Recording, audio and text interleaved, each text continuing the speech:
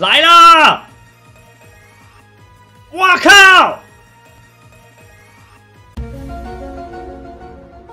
哇靠！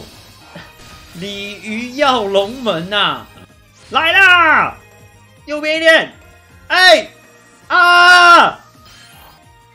可以碰到，哎啊这这啊！跳台，哎啊！跳台，哎啊！完了完了，无常时要见底了。影片开始前，别忘了订阅我的频道，才不会错过最新的影片哦。另外，本频道的会员机制已经开始，最低只要十五块就可以帮偷主播加菜。用 PC 版进入我的频道首页就可以加入喽。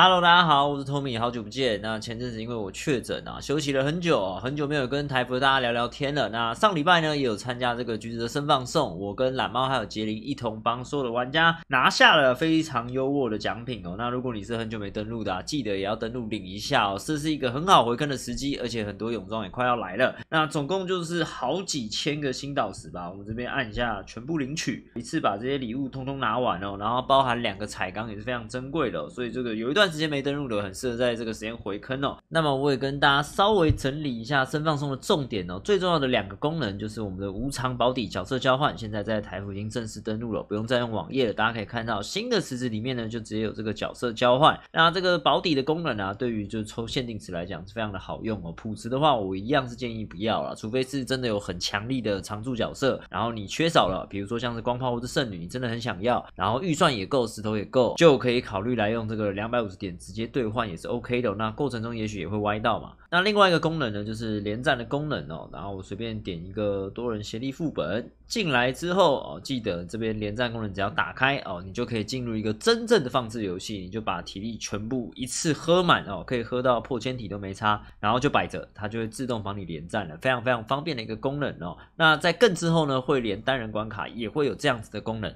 到时候刷崩坏就是体力吃满放在那，然后就可以去做自己的事情了。最后呢，就是在七月底即将举办的这个台服限定的。活动哦，大家大家可以看到，我登录游戏之后，在称号这里，它已经先植入了有这个废龙记。那废龙记只要完成所有的任务啊，就可以拿到这个废龙之试炼屠龙者的称号。这个是繁中版独有的，非常的帅气，而且是仿照就是竞速的弹斗星的这个样式去设计的。我觉得纪念价值是非常高的。所以七月底的时候也不要忘记，有到时候应该还会再拍影片介绍一下。不过整体过程呢，就跟盛方中讲的一样，其实就只要一直刷。就可以拿到这个称号了。那同时也会有这个夏日限定的泳装也会登场。那如果你想要先看看，哎，那些角色是长什么样子的话，我的频道也有一些去年的影片哦。刚好现在跟日服的时间点就是差了整整一年，刚好。好的，那聊完了生放送哦，回到我们的台服七月十九号中午十二点的新角色精选转蛋哦。那这一次是一个常驻池，总共有两只新的五星角色跟两只四星角色。那五星的角色呢，分别是一男一女哦。男生就是张变，在前面的影片有提到过，他将会是雷贝水非常强力的一个角色。那他其实是雷魔女的下位替代啊。大家可以看到我的日服哦，其实我到现在还是没有去练这个张变哦，是因为我有雷魔女。但如果你没有雷魔女的话，就可以考虑来小捞一下。但这一次有一个非常非常大的问题，就在在于旁边这个。双马尾，它完全是一个花瓶。这个花瓶呢，你只要抽到它，那就是盖堵蓝，也没有什么特别的，因为它真的没用。那这个脏辫呢，在之后等到它的二楼一百等哦，还有这个一叉词条全部开放之后呢，可以把三属的地狱级啊，都可以用非常快的踢罐哦，直接把它踢掉。那对于很多人来讲，这可能是一个很方便。那对于我自己的观点而言呢，我觉得这对于游玩弹射世界来讲，并不是一个硬需求。因为说实话，六属地狱你每天都要打，那即便是呃没办法秒秒杀到。现在为止，你应该都有属于自己可以刷最快的一个盘可以用了。那需不需要把这个盘提升到哦这个脏辫，然后然后来做一个踢罐的动作？我觉得是锦上添花啦，很看个人。就建议大家，如果真的石头够多的话，才去考虑去把这个脏辫捞出来。而且它是常驻角色，那如果你要喂这个常驻角色喂到一百，有的人会觉得舒服，有的人会觉得不舒服，这个就很看个人。但是如果你是没有雷魔女，然后每一次的复刻你也都错过的话，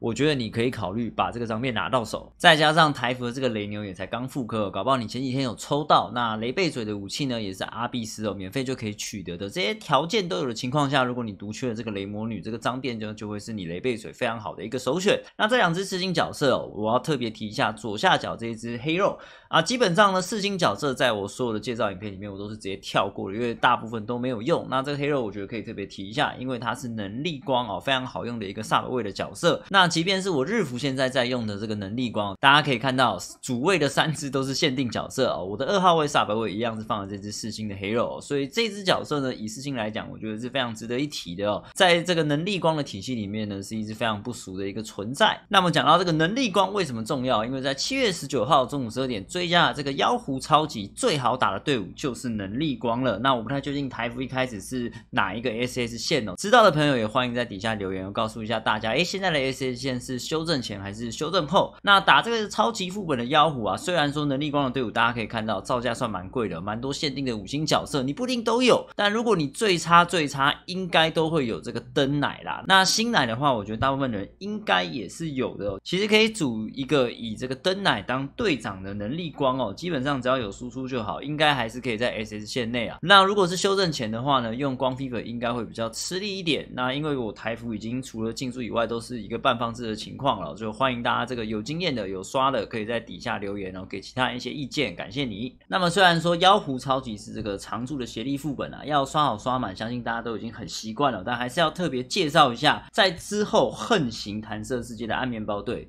会用到的武器呢，就是这次妖狐提供了两把哦。大家可以看到，我现在在用的暗面包队一号位跟二号位的武器呢，都是用妖狐超级的这个免费武器。那包含魂珠也是全部都用这个妖狐杖哦。所以如果你之后想要玩这个完全体的暗面包队，那这个超级的妖狐一定要赶快刷好刷满哦。那第三把武器是跟 PF 有关的，相对来讲是比较没有用的，因为在这个暗队的体系里面，呃，已经有很多玩具了啊，不管是直击还是棺材哦，暂时还轮不到这个 PF。